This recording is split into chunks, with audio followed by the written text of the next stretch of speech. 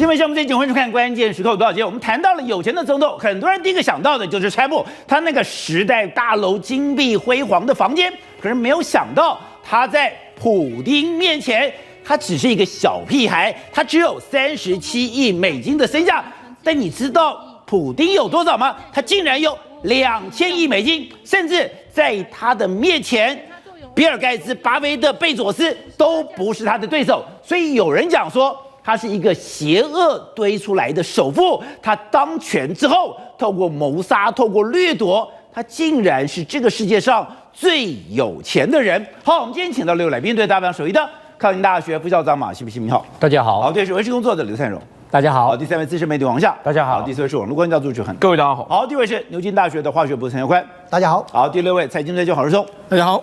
选。是，刚刚讲到了，本来以为说哇，川普好有钱哦，他的房子金碧辉煌，而且他有自己非常大的私人飞机，可是没有想到这一切在普京面前完全算不得什么，甚至一比较的话，他不但比比尔盖茨、比巴菲特、比任何人都有钱许多。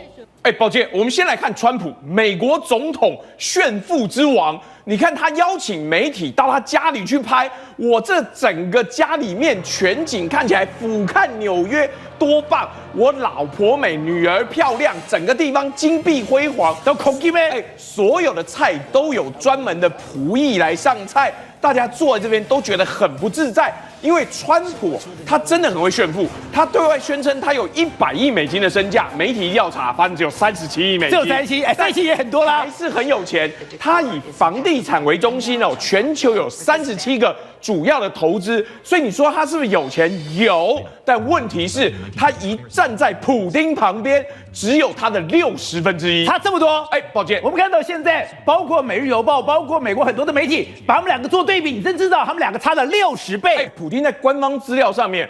他大概只有二十座房子，只有二十座。然后他说啊，他每年的收入啊，大概三百多万新台币而已。我是为了俄罗斯人民背起这个苦役，大家要知道我的服务心很重。但现在最新的调查出来，你知道这个一分析之下，他说普丁资产大概两千亿美金，是全世界最有钱的人。你把比尔盖茨。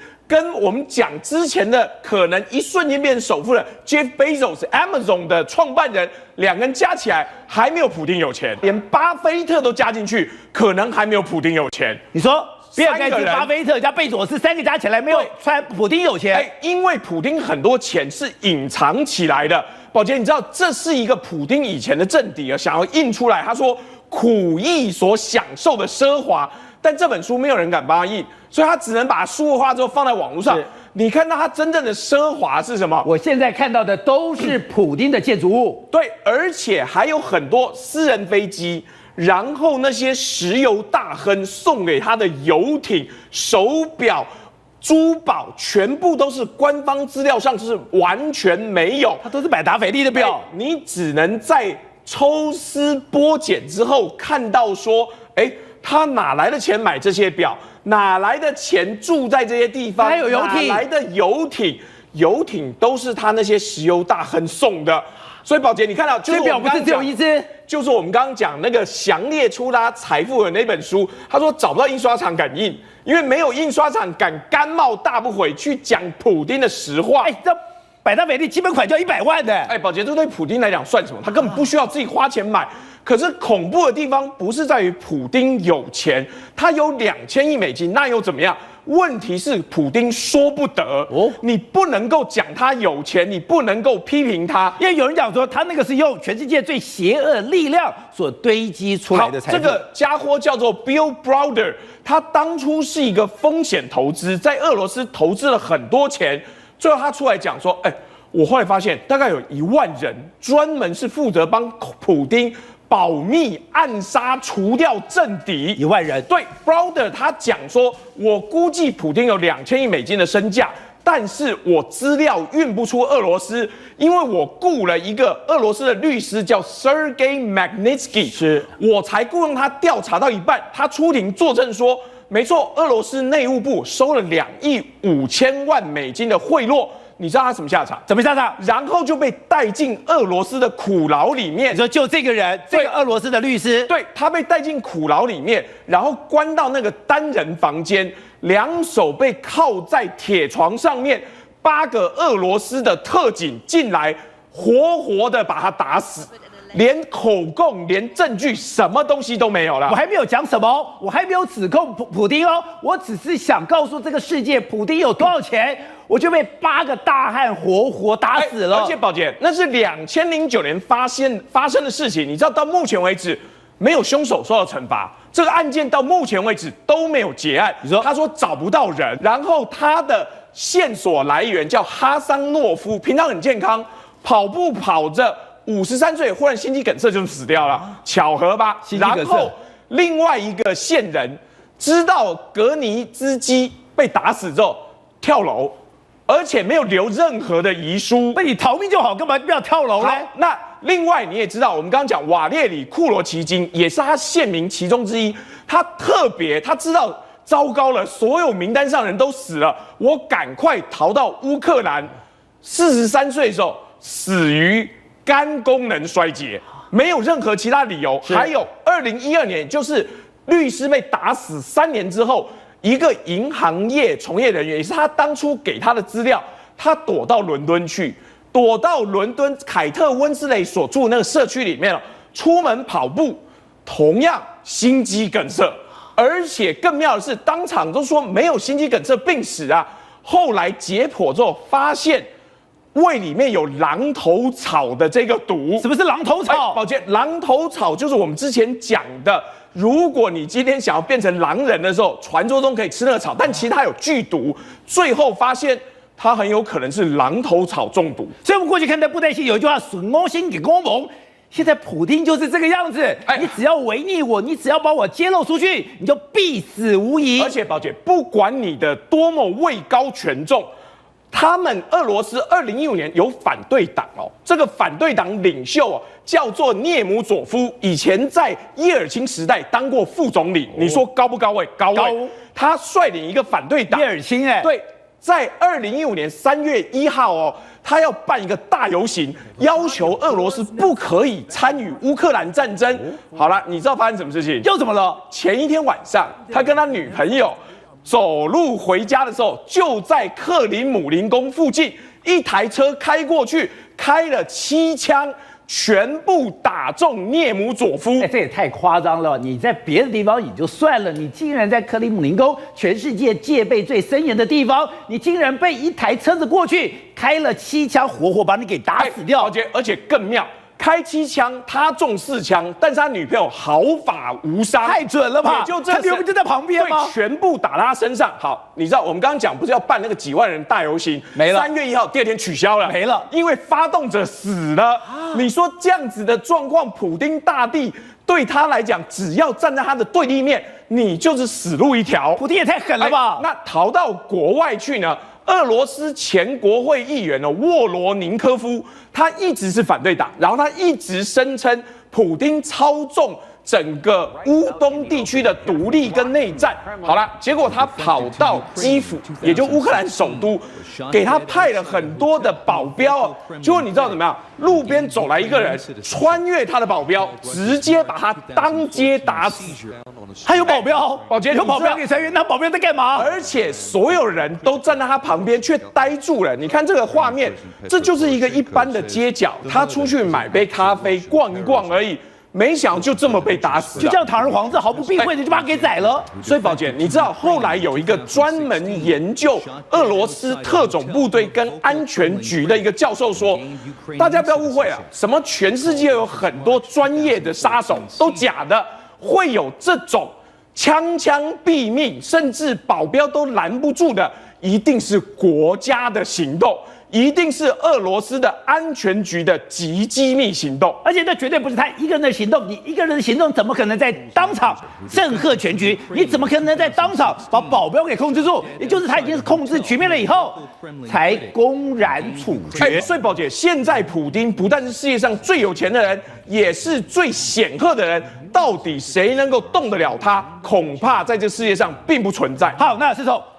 看到普丁的面具一个一个掀开了以后，你才发现这背后这么多可怕的故事。他过去一穷二白，他过去是圣彼得堡小子里面的领导人物，没有想到进到了克里姆林宫，受到叶尔钦提拔之后，二十年来他是全世界最有权势、最有钱的人，这也太可怕了吧！宝姐，年轻的普丁可不是现在这个呼风唤雨的这个样子。是啊，年轻怎样？我们给大家看几张照片。这个是一一九八八年，当时美国总统雷根他去访问俄罗斯的时候。是哦。当时我们可以看到说，这个角落一角的话，这个金发，然后带着这个相机在跟对雷根旁边的人。是。这个人就是普丁，他是隔壁屋的间谍。然后他盯着盯着这个雷根的，他就在那边看看这个目前这个民众跟雷根的反应状况怎么样的一个状况。那你可以看到说，在早期的这个普丁啊，都是帮这个领导。你看拿皮包，普丁。领普丁那时候手上拿的就是皮包，领导在前面。那领导在前面的时候呢，他就在后面拿个。他是拿包包的人，拿了包包，拿了资料夹。那你看，就连领导在跟这个人家访问的时候，你看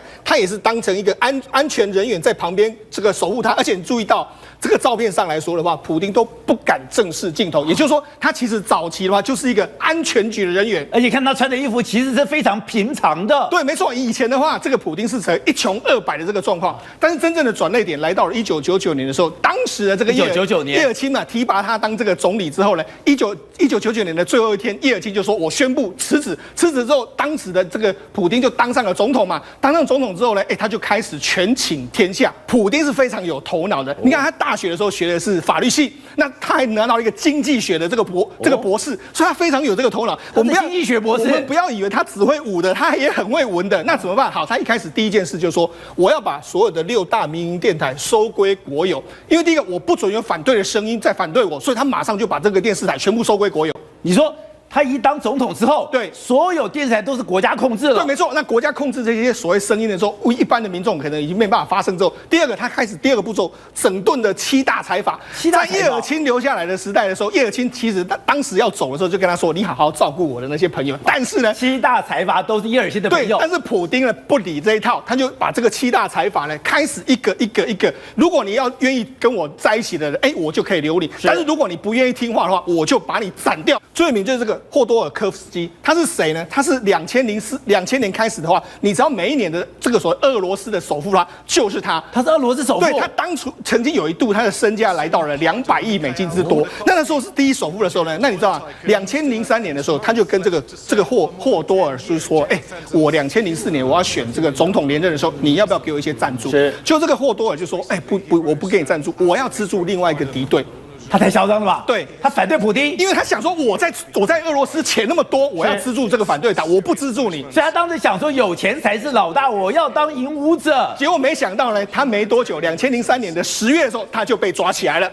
他被普京抓起来的时候呢，普京就说啊，你我们现在调查你，你的你跟你的公司尤斯克啊，两个可能有涉嫌到所谓的逃漏税，所以我要我说我是说我要查你的用逃漏税抓他，逃漏税，后来又说你意意图颠覆国家。就那马上就罪名一直加上去，他马上就被判刑。两千零零四年、零五年的时候，他就被。就被这个入监，那保监让他入监入到什么地方？到哪里？他就被流放到这个地狱圣加哈这个地方。你说这个全世界最恶名昭彰的地方？那这个地方呢，距离呃莫斯科的话，大概有一千公里。那它是蛮靠近这个芬兰这个地方。是。那你知道这个地方的话，冰天雪地。对，冰天雪地，非常非常非常环境恶劣。它进它，如果你要逃出去的时候，它外面先有两个这个石石墙，这个泥墙。那泥墙上面都有铁丝网，铁丝网不说，你出去的话，外面还有三道是用光感应的这个这个防护防护网。它就是关。到这个地方，对三个防防护网的话，哦，你根本跟逃不出去。那你逃出去的话，宝洁，你逃出去也是死路一条。离他最近的村庄都要十公里以上，你不可能在零下四十度在外面徒步十公里，十公里那是不可能的。好，那你说夏天，夏天呢？夏天跑出去那不是 OK 吗？宝洁。不对不起，这个地方是草原地带。草原地带的话，夏天出去的话，很多野狼、野狼、狗，很多野野兽在外面，所以你也是马上就大概会被野兽给吞掉。所以你说这个地方冬天的时候它是冰天雪地，你完全不能离开。是到了夏天，你想说我可以出去了。可是全部都是野狼环而且。这个地方真的不是人住的地方，因为传言啊，这个监狱早年啊可能是这个俄罗斯啊，这个前苏联在制造这种浓缩铀的工厂，所以这里面还有放射物，可能有放射物在这个地方。那还有后来还有浓缩铀后。来这个这个这个地方又变成是什么集中营，所以里面有很多解剖室。那解剖室里面放了很多人的器官啊，什么眼睛什么之类的，很而且里面还墙上还常常摆了很多照片。是所以听说这个监狱晚上还会闹鬼。闹鬼，对所以我们看到有一个画面，就是有一个人要出狱，结果后面有一个影子跟着他，就在这里，对，没错。好，晚上闹鬼不就是说鬼都不想待的地对方，。晚上闹鬼不说，那这个地方呢，是你要二十四小时，他们叫你起来工作，你就要起来工作。你晚上可能睡不好的时候，白天没多久，人家就把你踢醒，哎。工作去啦，所以他们在里面做做的作息还要做工所以里面真的是非常恶劣。那你知道这个首富被关了快要十年的时间，因为后来这个俄罗斯要争取这个奥运会，他就说，哎，你要改善你的人权关系。那第一个被点名的就是你要把这个首首富富放出来所以后来他就说，好啦，那我就把他放出来，要不然的话，这个首富可能会被关到死啊。好，你刚才讲到的，一开始跟他敌对，就这个画面，就是他，对一开始跟他敌对，结果他的下场非常的惨。可是，就算你一开始对于普丁掏心掏肺，对你只要有一个小动作不如他的意，对他也让你非常难堪。对，我们来看另外一个画面，这个首富现在已经换人，换成这个谁？俄国现在的新首富叫德里帕斯卡。那为什么他会变成首富呢？他说，因为他那时候他不是普丁不是把尤斯科收为国有吗？他又把这个这个公司呢交给他去管，所以他现在变成是俄罗斯首富，等于是说普丁就我要谁当首富，谁就给当首富。你说俄罗斯的首富是普丁，要谁当谁就是尤斯。科给你，你当然就是首富嘛。那你知道这个画面是什么呢？这画面呢是两千零九年，他是巡视这个首富这个帕德里帕斯卡他的公司，他的公司这是个铝工厂。那铝工厂他去巡视了一遍的时候，他他还。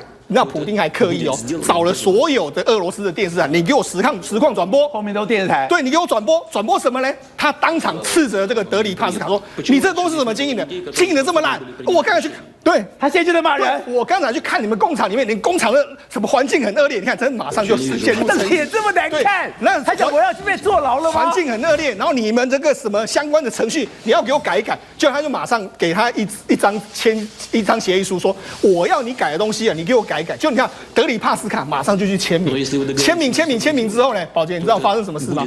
德里帕斯卡这么签名签名之后呢，他笔就放着，结果普丁就说干什么？笔还给我啊！他应该大声的斥责他：“你的笔还我，那是我的笔啊！”就这样，这整幕就在整个俄罗斯电视台里面播放。那怎么样？你看。他当众羞辱这个首富，他羞羞辱首富是什么意思呢？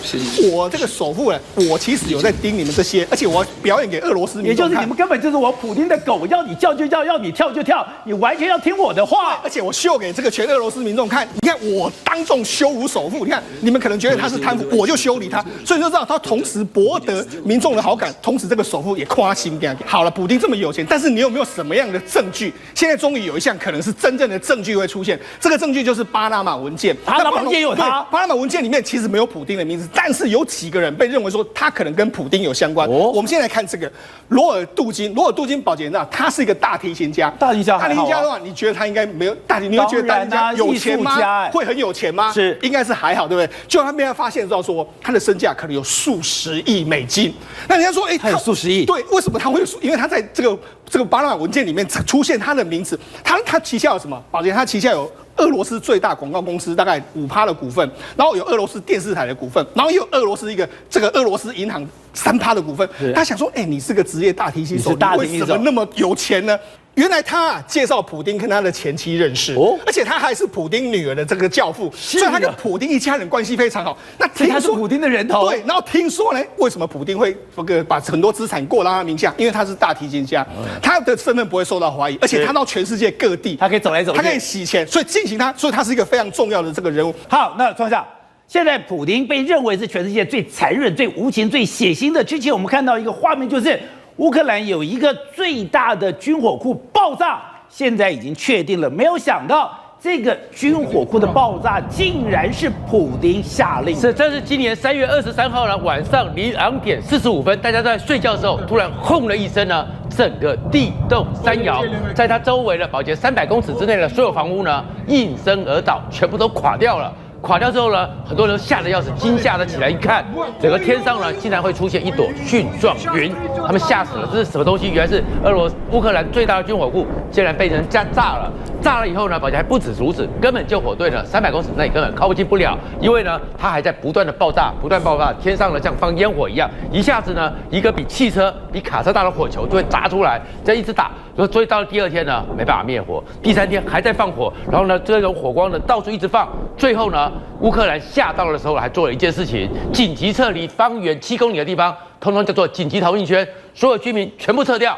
而这么恐怖的事情呢，只有车洛比爆炸的时候十公里，大家想说是不是跟原子弹一样爆炸的恐怖？可最后发现到底是怎么发生的？原来是普丁干的。普丁干的。对，因为他们后来找到证据，普丁呢竟然派了一架无人飞机，是载了一个最恐怖的铝热剂手榴弹，叫做利 M G One。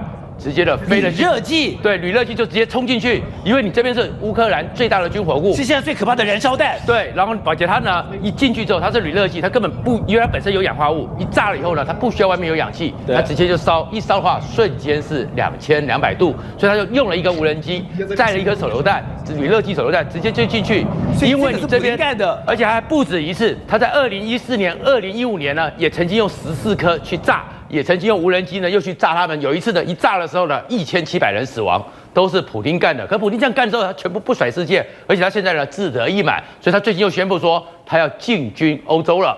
所以进军欧洲的时候，他是欧洲九月十四号到十八号，他要在欧洲重启那个以前俄罗斯苏联最可怕的西方演习。什么叫西方？他已经用他的列车呢。一下运了四千辆坦克车，直接就到了那边去，要再四千辆坦克，四千辆要去再一场演习，而且里面最可怕的是，整个俄罗斯最可怕的第一近卫坦克军团直接就过去了。你说历史上最可怕的那个八八军演要重演了？是的，反正第一近卫坦克军团呢，会让所有人都害怕是什么？他呢，它所有配备的是八百辆的坦克，八百辆坦克呢，比德国的豹二总数还要多，然后比波罗的海的三个国家的所有坦克都要多，而且最可怕的是，它用的都是 T 十四阿阿玛塔。最新的坦克，而且上面呢还配了三百辆三百辆自走火炮，上面是有战术飞弹，战术飞弹就是刚刚的铝热剂、原子弹都可以在这边。他说最可怕是说过去的时候呢，他在柏林的围墙的时候，就是他第一个攻进柏林围墙的，烧杀掳掠，当时就把德军的七十万七十个步兵师全部歼灭，就是这个第一近卫军团所干的。是，然后这个呢还是战争，对不对？一九六八年布拉格之春。当时捷克呢说他们要要求他们自己的民主化，结果那天呢一架运输机货机就 m a n d a n 说他们要紧急迫降，降他们那个。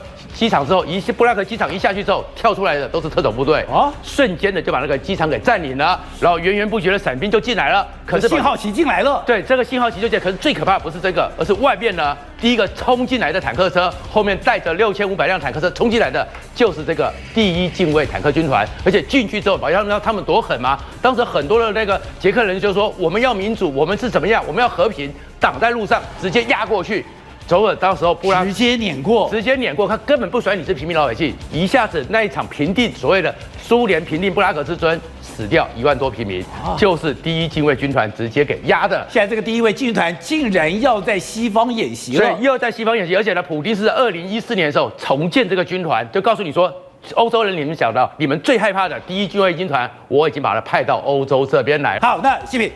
刚刚讲到了共产国家很多的事情不是我们能够想象的。现在我们看到了，现在有一些越南当时的苦劳公布之后，才发现那根本不是我们可以想象的地方。这两天台北热，对不对？大家一点到三点要限电，大家觉得一点三点没冷气，好好热，对不对？你相信监狱里面不断有人死亡抬出去，死亡抬出去，全部是被热死的，真假的？一八六四年，法国人在这岛上盖了一个监狱。刚开始一百二十间，那法国人把这边盖的时候，没想到一九四零年，越南把它当关政治犯。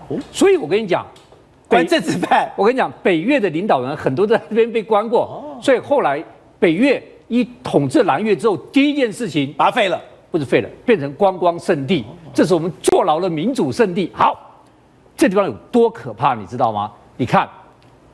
第一个，这个所有的囚徒一排排被烤住，那我要上厕所怎么办？没办法，我要动怎么办？那你你不要，你注意看，第一件事情，一根铁杆出过去，每一个脚都被敲在这个上面啊。第二个，你知道有多热吗？没有一个人穿衣服，为什么？因为它上面是铁板、铁皮屋、铁皮屋，那约的时候很。这个越南呢？越南很热哎，很热，越南比我们还热。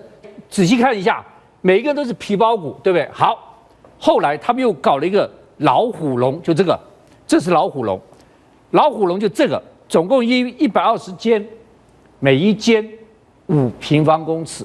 那你看这个为什么叫老虎笼？你知道吗？为什么老虎笼因为像养老虎在里面一样。哦你在上面，上面还很大空间，是。我在上面可以用钢琴戳你，像逗弄老虎一样，我还拿东西去撒你，真的对，所以他们警卫就喜欢在上面，哎，看到这个不爽就戳一下，那个不爽就戳一下，去逗弄你一下，像老虎一样。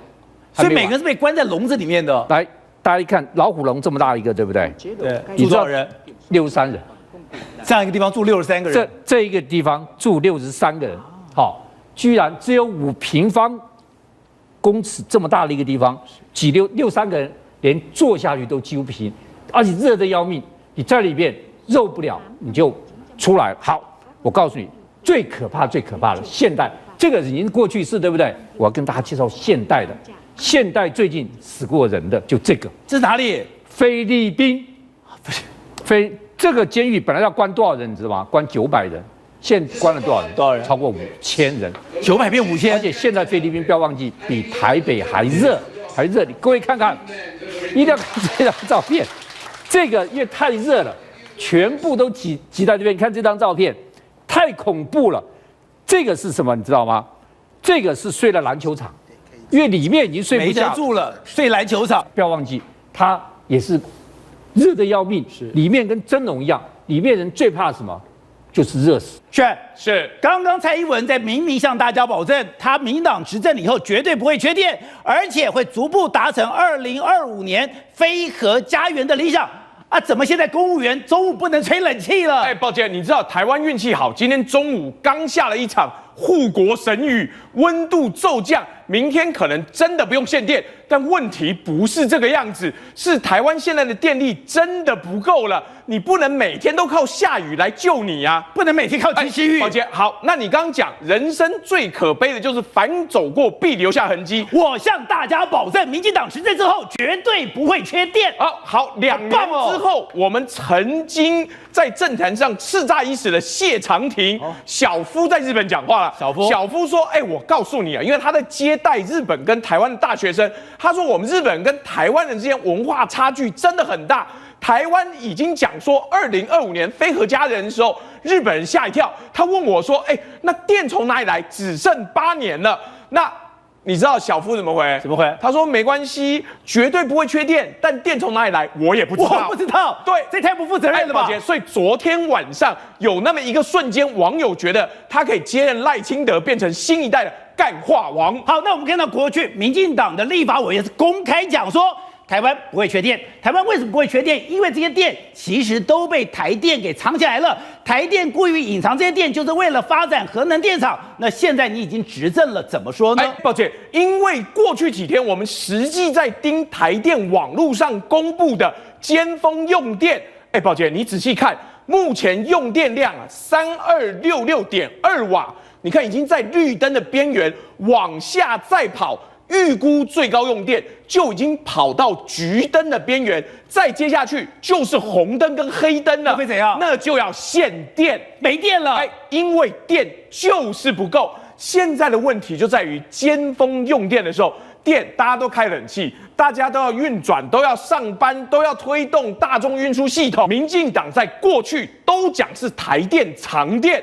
二零一四年呢，想想论坛上面有一篇奇文，叫做“没有核电，台湾也不缺电”。这个伟大的作家说：“我要破解马政府的制造缺电伎俩，哦。根本没有关系，我们不需要核电。”好啦，这位作者很棒，邱明哲先生哦，生于一九八零年，是清大社会学系的学生，社会系的，对，所以他最后博士有没有拿到我们不知道，但他写这篇文章超厉害了。我当时看了，哦，觉得真的台湾不缺电是马英九在骗人。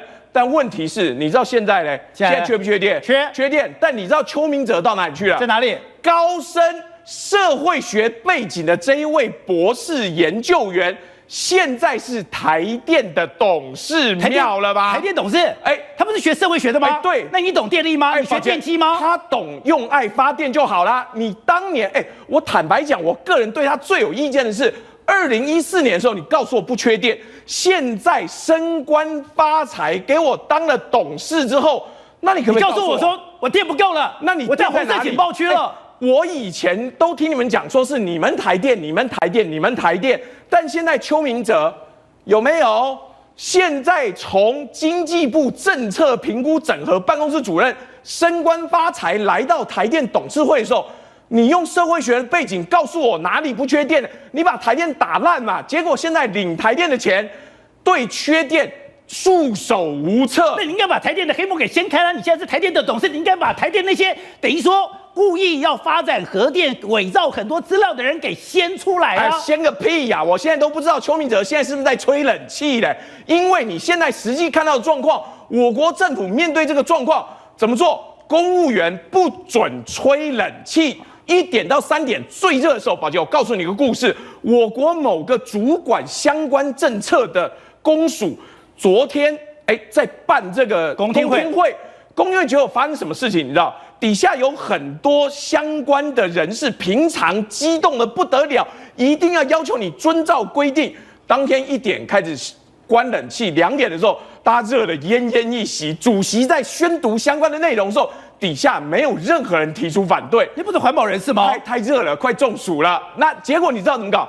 一到三点，冷气一开，忽然之间风风火火。主席，我有意见。主席，我要提出你这个问题。主席，你的公信力不足。所以你说环保人士也要吹冷气？哎，所以宝杰，现在唯一的状况就是供电确实快要进入红灯，巅峰用电不够的时候，我们最伟大的政府现在可狂了。网友因为吹不了冷气，热的要死，现在做了一张图，他说蔡英文，你实在比川普要狂太多了。川英文哎对川普讲说，就是因为我当选，川普才会来美国投资。没错啊。哎对郭台铭也这么讲的啊。但你错了，真正厉害的地方是蔡英文。哦蔡英文说：“哎、你川普乱讲，如果没有我，川普怎么会到你那边去投资？我才最厉害。所以你说蔡英文当选才把蔡郭台铭给赶出去哎，的宝。钱因为没电了嘛，你不然要怎么办？好，那社长刚刚讲的郭台铭这次跑到了威斯康星，大家以为说哦，你就只是去跟我一个面板厂，结果郭台铭竟然要去卖西洋参。对，其实威斯康星它有一个很大的特特产，就是花旗参，我们讲的分工芯，真假的？对威斯康星是粉光参的这个大本营。对，大本营。所以郭台铭希望用生技科科技啊，去把这个花旗参做大量的这种所谓使用、开采、行销。是。那花旗参其实在中国亚洲这边呢、啊，其实认为花旗参不是最高的一种品种，它当然对人体是有益的，尤其尤其对中老年人。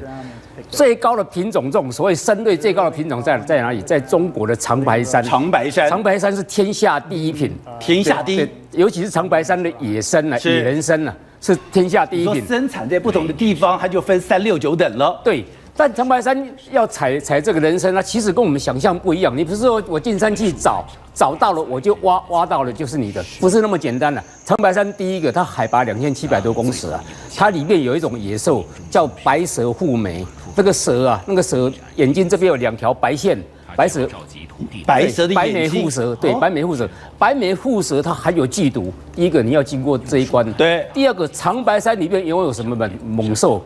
第一个东北虎，第二个金钱豹，是。第三个黑熊，它有很多以前闯关什么闯关东对，闯闯关关东东就是要去挖这个人参嘛。那你这个人参你去找找到的时候，其实他们有很多禁忌啊。他们沿途，比如说晚上在那边扎营的时候，他们生火，那个火啊，你不能断，会比才花语。第二，第二个像古代有那个铜钱，是铜钱呢，比如说光绪通宝、道光通宝对，有这个光字的不能用，它有很多禁忌光模体啊，光光啊，嗯找不到。那第三是你找到这个人参的时候，找到这个人参，他们必须要一条红线，先把这个人参上面这边先固定住。把红线先绑红线绑住，绑住以后，它不是像我们挖竹笋一样，一铲子下去挖起来很快啊。对，它不是，因为人参不能断，尤其人参的根须啊是非常有效的。对而且你这个根须采回来的时候，你看他用那个什么，用那个苔藓，用苔藓外边再用一张桦树皮，把这个你踩到了连根须一起包起来，它那个营养才不会流失，是。才不会流失，新鲜度才会能保持你说。连土都要留下来，对，那因为你要规章凑起来嘛，规章亮下来，所以你不能用那个铲子去挖，挖了你这个根须就整个断掉了。对。所以你看他用用手扒的，用扒的用，手扒的。用手扒，对，爬慢慢慢慢爬，爬开爬到后来，你才把人参慢慢的整理，把西啊这边整条好好的拿起来，是。换好带回去。带回去，那长白山的人参它特别好，为什么？刚才讲说它天下第一品，天下第一品，因为你注意它的土，它的土是黑土，黑土，它的土是黑的，自然的一个黑土。所以有人讲说它为什么天下第一品？因为它这个黑土的土壤的营养，你全世界其他找不到，而且长白山的温度跟湿度又刚好适宜它的生长，是所以它长出来的东西特别好。现在看到了这个影片，飞机坠落在地，瞬间爆发、爆炸开来。这个不是一个飞机的事故，你很难想象，这个竟然是 NASA 所做的一个实验。是白为什么要做这个实验呢？因为 NASA 想要知道说，如果飞机下来之后，我怎么去救人，让这个火灾减得更少。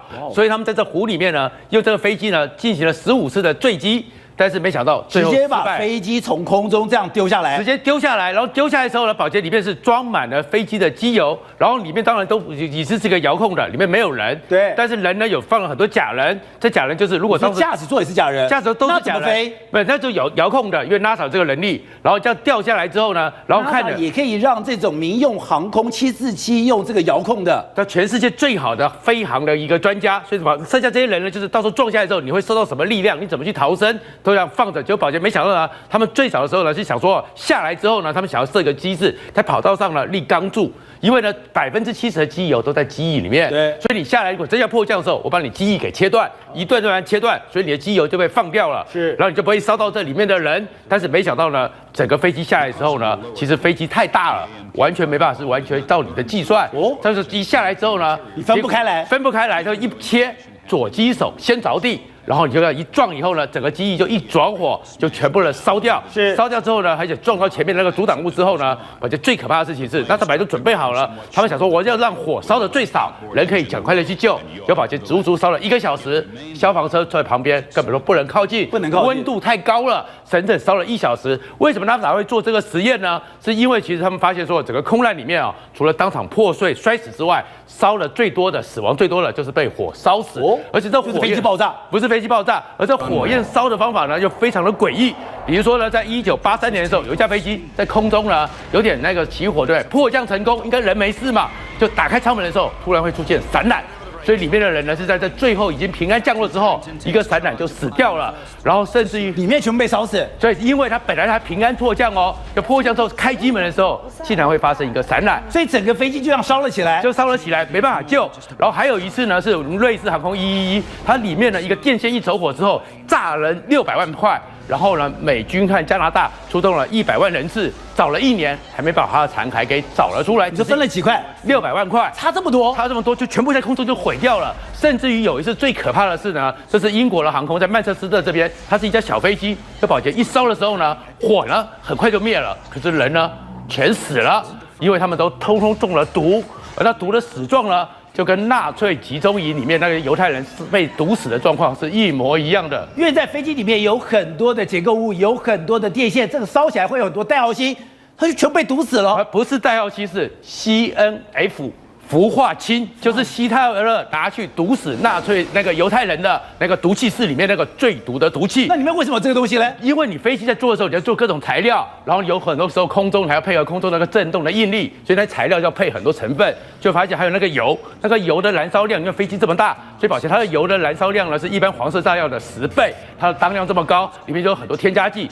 那 NASA 就讲说，我们要解决这个问题，所以 NASA 呢就特别的拿着飞机来，我们看能不能在这个过程中，我找到它燃烧的机制，找到它油的方法，甚至有加一些添加剂，让这个火呢不要烧这么快不会烧这么多。到一九八四年，NASA 告诉你说它失败了。哦，到现在为止，飞机如果怎么去解决这个迫降之后燃烧的状况，NASA 说它失败了所。以我们现在看到这个画面，就是 NASA 砸了十五台飞机，里面放了所有的假人，做了所有的 sensor，从空中迫降，甚至在地上整个烧起来。我要如何让伤亡减到最低？目前没有答案。没有答案。好，那西平，我们看到这一次北韩它又试射飞弹了，没有想到它这次的飞弹差点打中了一个法航的民航机。我跟你讲，这次飞弹飞出来，它越过的那个轨迹线，掉下轨迹线刚好是法航波音七七七刚好经过经过的航线，上面带有三百二十三个人。我跟你讲，还好法航飞得慢了一点，对没有经过那里。假如飞航发航飞快一点，它有可能被打到。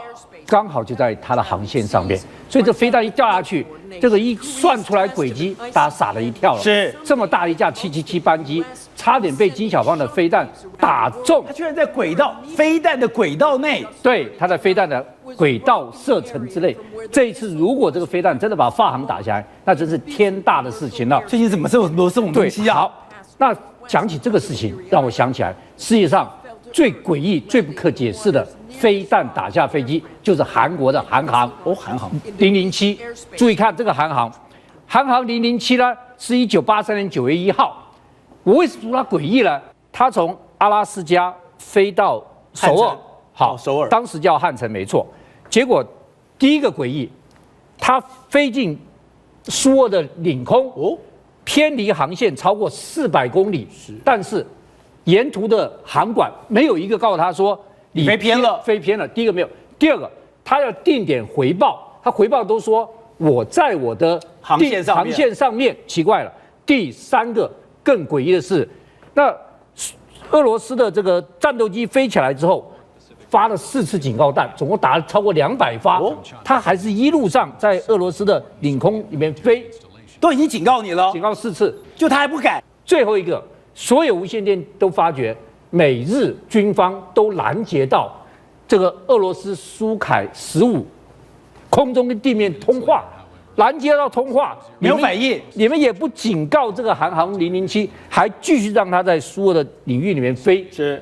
最后俄罗斯受不了，把打下来了。飞出我的领空的时候，我居然最后时候把你打下来，一个飞弹打下来。好，这件事情，你知不知道美国总统为了飞机失事，第一次雷根道歉，第二次是谁？第二次是什么事？第二次什么事？第二次居然是我们华航 CI 六幺幺在澎湖上空出事，澎湖我们的华航失事，美国总统为什么要道歉？美国的布希总统公开道歉，美国总统为这个外国航空公司失事道歉就两次，为什么一次就是华华韩航韩航，一次就是二零零二年的华航空中解体，你美国总统道什么歉？好，那都说雷根的当道歉有蹊跷，这一次他道歉也有蹊跷，就大家一研究蹊跷出来了，注意蹊跷在哪里？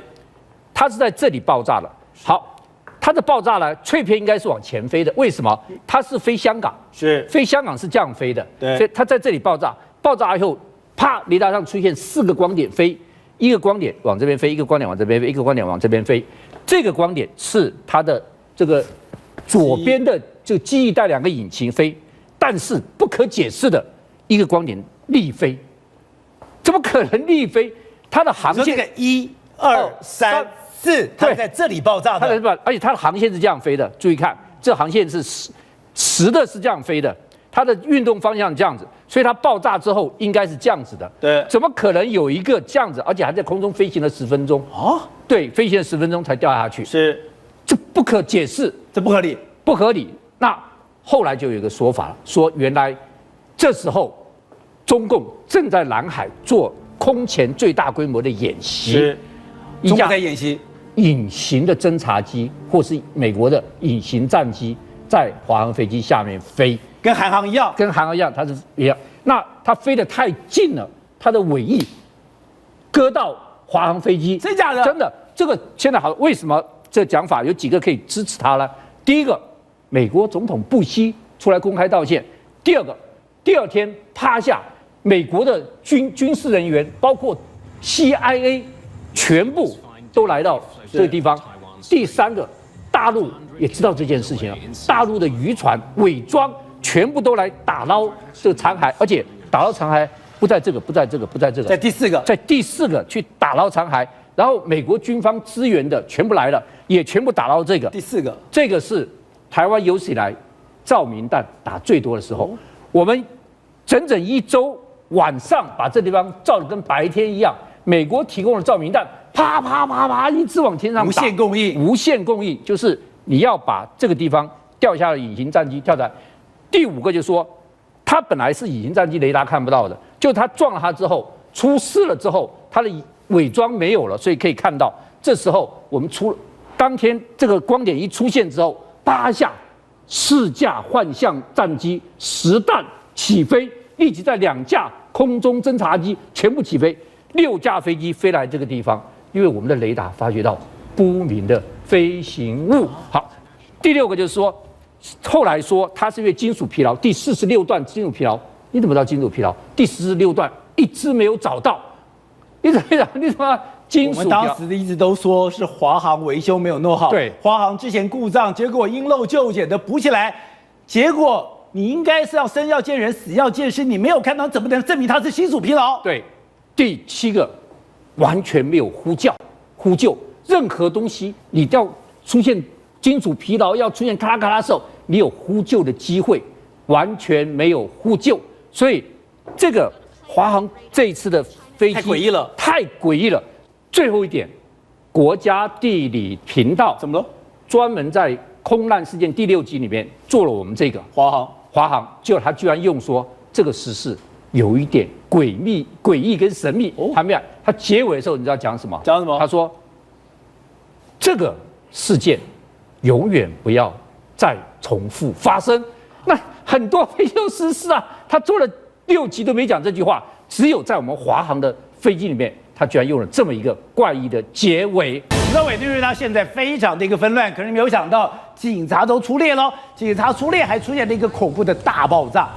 对，现在我们看到的画面是，这个就是将近接近那个内战的这种争斗。哦当哎，这个警察在耶对，，你看这个武装部队、武装警察、政报警察骑着这个一列机车，那么前面看到个大爆炸，这个爆炸的威力呢，不是一般的土制炸弹，也不是一般的酒精这个汽油炸弹，它其实它就有威力。各位看这个影片上，它那个那个灰尘啊，那个爆炸碎片啊，已经飞了几公里之远，所以它里面除了一般的爆炸的黄色炸药之外，有可能还有放铁钉之类的，所以当时的还有铁钉。还有铁钉或者其他的爆裂物的那个碎片，所以一爆炸了之后，它这个爆裂物呢喷了几公里，在这个民众这个摄影机拍到了这个画面，当时民众的声音还有鼓掌叫好的，这就是他的他们是针对警察，针对警察警察被弄伤了，结果旁边还鼓掌叫好。我们看一下这个画面，其实在这个所谓的人为的这个灾难里面最大的在墨西哥，一九九二年。那么墨西哥这个城市呢，已在一夕之间发生大爆炸，其实只什么？因为一个水管的安装错误，在墨西哥中部这个城市呢，这个整个墨西哥的第二大城市叫做瓜达拉哈拉。这个瓜达拉哈拉这个城市呢，人口非常密集，相当于台湾的高雄。会知道，其实高雄之前有过油管的爆炸。那么这个这个啊、墨西哥呢，它这因为一个油管公司，大家做安装水呃油管的时候，它为了方便其事，所以它就接着这个水管的底下，哎，顺着这个压对，那么后来地铁的改造坐地铁的时候，哎，方便，哎，不用再重挖，所以就把这个油管、水管稍微用一个 S 型 Y 管的地方，所以它造造成个 U 型管的时候，那么产生所谓的电解效应，因为水管漏洞或水管那个水汽凝结产生了电解作用，在流动的过程当中有静电，所以这个所谓的电解水解作用呢，就把这个瓦斯管给熔破了。那么瓦斯瓦斯管融破了。对，那瓦斯管有熔破的时候，它慢慢的渗透出来。那因为这个土质呢，它会有吸收这个所谓的油气、天然气的作用，所以慢慢慢慢的吸附。它这个这个爆炸前几天呢，很多居民都会闻到一个瓦斯的味道，所以呢，居民这个就就跟当局讲啊，有瓦斯味道，他们检查，但是当时呢，并没有发现这么严重的漏泄，这个外漏出来。后来呢，这个大爆炸造成了将近两百人当场死亡，五百人受伤，那么有一万五千人无家可归，他的财务损失呢，将近有三亿到十亿之间的美金。新闻项目这集欢迎看关键时刻有多少节？三星堆的考古发现可以说是中国近年来最伟大的一个考古成绩，而现在对三星的考古挖掘没有停歇。我们现在看到的画面就是三星堆又挖到这个非常奇特的赤裸跪像，全身赤裸跪着，而且繁茂，上面它的法辫、它的绳索都非常清楚的看到为什么要做这样的一个雕像。另外就是没有想到三星堆也有诺亚方舟的概念。我们看到这个大概八十五公分，完全是用玉雕刻的。为什么说这个就是三星堆版的诺亚方舟呢？好，我们今天请到六位来宾，对大家非常熟悉的康安大学副校长马西不西，你好。大家好，好，对，主持工作者刘灿荣。大家好，好，第三位航太博士傅林老师。大家好，好，第四位是网络官教朱旭恒。各位大家好，好，第五位是资深媒体王文夏。大家好，好，第六位是资深的社会记者王瑞德。大家好，好，社长，刚刚谈到了三星堆是中国近年来最伟大的考古发现，而现在考古还在继续进行，现在又搞到一些新的，我们过去没有介绍，居然有这种赤裸的人像，他是跪着，而且他是全身反绑的。对，宝洁三星堆的文物啊，说沉睡三千年了、一醒惊天下。沉睡三千年，一醒惊天下。对，其实它的考古发现一直到现在不断新的东西出来。是最近大陆那边丢出了一批文物啊，这一批文物一样跟以前一样，它不只是神奇，不只是诡异，而且充满了谜团，就横空出世。对，第一个，第一个我们今天看的是十二尊的这种这个玉石雕刻的石像，还有十二个石雕，十二个。对，那这十二尊石像有一个特点，它全部呈跪姿，都是跪着跪在地上。是。第二个，它是裸体裸身的。是。第三，它双手环绑跪在地上，全部三手环绑。双手环绑，对。哦，它的造型非常奇特，你可以看它头上刚才那个头上造型，它的头发跟现在年轻人那个很潮的造型一样，两鬓是理光的，两鬓是理光的，只有头顶在上面，头顶对，头顶这边像一本书一样翻开中分，哦中分翻开，一个很奇特的一个造型。所以有人在讲古蜀国的那种人啊，对到底长什么样子？有时候以以前讲说他种木，对，那现在又变成这样头发中分了，这是第一个。第二个，这个石像出来以后，引起考古界很多的争议。怎么样争议？有人讲双手环绑，第一个你会想到什么？战俘嘛，是罪犯嘛，才会双双手环环绑。哦，拿去当人祭祭祀用了。那后来其实有一派考古家更深入的研究以后，觉得不是这样子，这个是很高级身份的人才能这样子。为什么高级身份？从他的眼睛看，因为你你知道这个眼睛出土的时候，他眼睛颜色已经没了，对颜颜颜色没了。其实出土的时候，你看这个眼睛是红色的，哦眼眶是红色的，眼白这边呢是白色的，有两种颜色在。是眼睛有颜颜色在，在中国古代一种代表性的是，你如果要诅咒一个人的时候，你要雕刻他的那个木人或者说玉玉人啊，你眼睛不能有颜色，甚至眼睛不要有造型，是就是眼睛等于像像空的一样，一个平面都挖空了。对，他这个不是，他把它彩绘了，彩绘的表示这个人他的身份有一定的一个等级，哦一定的等级。第二个，他曾跪姿裸体，不要以为就这个就是罪犯。你知道，在中国《李氏春秋》，他有提到以前商汤起义的时候，商朝商汤起义的时候，他就自己环绑跪在地上向老天祈雨。哦，因为几个月这是祈雨的过程。对祈雨的过程，他表示说我是一个最高身份者，我来跟你上天表示我最虔诚了，所以我赤裸相见，向你上天祈雨。是所以上天当时《李氏春秋》记载说他在祈雨的时候是成功的，对天降大雨，他也是赤裸环抱。对，所以即使即使到春秋以后还有这样的记载，所以在三星国三星堆古蜀国里面，是不是也有相同这种概念？那当然有人讲这是用中原去解读是，古蜀国，但不晓得是不是有这样的关系。他们跟商人之间有这样的关联吗？，对，以前讲说，因为它三星堆它是来自四面八方的一种文化的一个集合体嘛，当然有它本身的一个特殊文化，那跟中国有一些千丝万缕的一个瓜葛，是所以说是不是商朝这边有跟他们这种概念的一种融合呢？是不知道。因为它这个文化概念跟商朝是连通的。第二个，我们觉得一个很大的谜团是这个东西的出土，这个这个叫玉方舟，这个跟玉石雕刻的方舟。这是方舟，那你会想到挪亚方舟，因为要避洪水嘛。对那这个一方舟的出现，它其实高八十九公分，是高八十九公分，等于到我腰部以上，蛮大的一件一件玉，重七十公斤的一件玉石，重七十这可以公斤，重70公斤重七十公斤，它其实蛮大的。那这个方舟的出现，第一个证明说，是不是以前全世界各地都有洪水的一个灾害？是那我们知道三星堆考古的时候，它以前在地质层里面有发现很厚的一个淤泥层，嗯，表示当时古蜀国有洪水一样面临洪水的，所以他们也有方舟了，要乘船逃走。那这个方舟上面雕刻的，就是用这样的一个表现。它上面呢，你可以看这个船的那个上面，它其实有动物，这上面有四只四只对，像这种鸟，就是叫杜鹃，是杜鹃。底下还有还有比较细的这边还还有动物哦，动物叫那个鸠鸠占鹊巢的鸠，是。总共有八只鸟。然后你可以看它还有那个其他的一些动物，有龙所以底，下都是画动对，有这个盘盘的这个是龙的造型，那那个那个其他还有那个其他蛇动物的造型，对，龙蛇什么都有。然后还有人这边，其实你给我放大看的时候，它是一个像三星堆面具的那个人人头，你看这边站的有没有？对，像那个青铜立人的人，有人有动物，全部都有鸟，全部都夯不啷当放在这个方舟里面，所以他们有这样的一个概念，跟挪亚方舟不谋而合。但是它最主要是让我们觉得它也很神秘的，是一个黑科技的一个问题。怎么样黑科技？你仔细看这个这个方舟，这个方舟它的复杂的一个雕刻度，它是镂空雕刻的，对，而且是一种立体的雕刻呢，立体雕刻呢。所以以前那个时代没有人可以做到这种程度，三星堆没有铁器的出土啊，哦没有铁器的出土，你用青铜器那个软硬度、那个硬度要来雕刻这样的玉石，这个玉石叫龙溪石。龙溪石龙溪石是在三星堆古蜀国里面一条溪叫龙溪，那个龙蛇的龙。龙溪龙溪的石头它出来特别硬，而且它那个石头出来的时候，你看起来有点灼灼的。但是你打磨以后，它会很光亮，就像现在光亮对，而且它那个纹路就会很漂亮，有那个绢丝的那个纹路漂亮，或者有星星纹路的漂亮，所以他们用喜欢去采这种龙须石，而且他们采龙须石跟跟中国采那个石的情况不一样，中国采石是用挖的。